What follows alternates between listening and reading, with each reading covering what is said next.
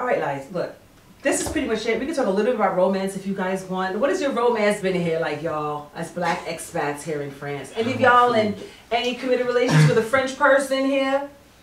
I was gonna Uh, uh, mention uh, because Rude it, rude it, rude it. Somebody's You're gonna something mention that? no, it's, it's something. Rele- it's kind of relevant to the conversation sure, that was sure. having before, and um, you know, I feel like as things are changing and black men are more supportive, there's also the flip side.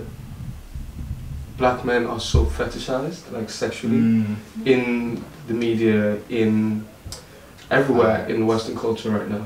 And some black men take advantage of it, fair enough. Absolutely. But you know, like You do. there's that level, like when you meet a white woman and like make it novel, or like that's the also thing. like like a badge of like I'm with it, I'm like being- I'm with yeah. you know I'm with the struggle, Being like it's Well, how can you tell as an English guy here, Nigerian English, British, British. Nigerian Um, British? Because he had to school me on the difference between British and English. Um, How do you find if a woman is really interested in you for you and not your color? honestly, I've not No, dated a white woman in a So you've only dated black French no, women? no, I've not dated a white date- woman in a long time. I, I wouldn't say no. I would never say never. Of course, of course. It's hard enough finding your person. Like I wouldn't, Sure, sure. I wouldn't rule it out. But So have you dated French women here, or have you dated expat women here? both, yeah. And like, has how has that been for you? Has it been a positive experience, Yeah. negative?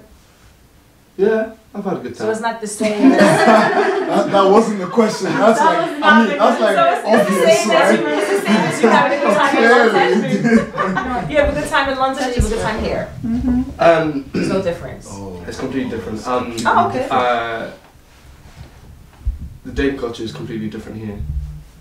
I just really wanted to point out that I know my black friends. In fact, funny enough, all my black close male friends are married to black women, mm-hmm. and not that it was like a straight conscious decision, but it, it becomes like That's what it is. it's just what it is, and we recognize how exoticized black men have become in the media. It's like, mm. So to be safe, you're like, let me just stick with what I yeah, know. yeah, it's just, you know, sometimes someone someone said to me like he broke up with his white girlfriend and she removed um, BLM from her Twitter. Oh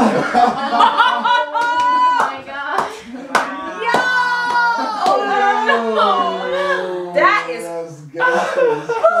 Are you is so kidding cool. me? And it's That's- funny. It's Oh, funny. shit, that's That's